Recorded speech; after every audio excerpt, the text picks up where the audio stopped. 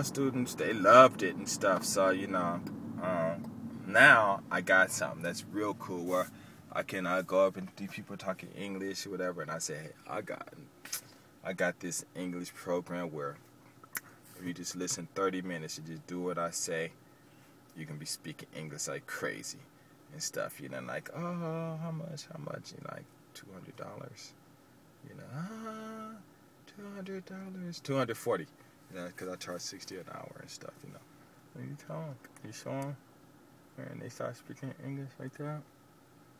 Or you know it's that good you can charge a hundred dollars a lesson teaching for hour hour ten minutes.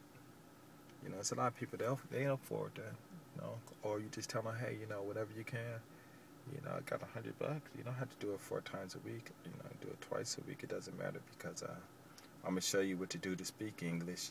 Give me a hundred dollars I'll show you what to do. And when you want to practice your English or or whatever, you know, just let me know. You want me to correct it, you know, you know, save up a hundred bucks, and you know, here I am, you know, and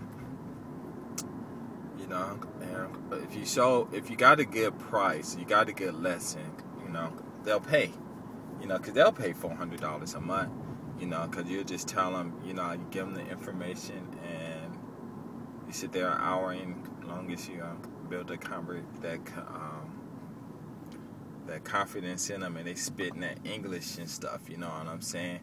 Then the next thing you know, uh, they're gonna want to speak more and speak more and speak more, and they might say, well, you know, I don't have a hundred dollars, but I'll do this, you know, and they'll make other offers and stuff, you know. But I just stick with the money, you know what I'm saying? Just say, oh, you know, and uh, whatever. But you know, sometimes you can come down on the price you know what I'm saying? Because what it is basically, you get that big money because you got that big idea. But if they just want to sit and talk and you just listening, you know, they just want to pay you fifty dollars. Then heck, you know, get paid fifty dollars just to listen to people talk. You know, and I don't know, it's a trip. But I'm always talking about English. But there's more things out here um, to do with English. A lot of people doing a lot of import, exporting stuff. You know, furniture and stuff like that. You know, but you gotta have you gotta have some. Uh, somebody for that stuff and stuff like that. You know, some people got it though. I would have had it though, but I did. I spent my money doing some other stuff, but I'm about to about to do this because this kid I was teaching today, 14 year old. I think I just said one of my other videos, but he only came for like a month, and I just showed him what to do. And, you know, he's trying. You know what I'm saying? He's trying. But anyway, let me go off this thing. I'm tired of talking all night because I'm sleeping because I'm driving all night, which is true. Why have I been driving all night? But it's a long drive.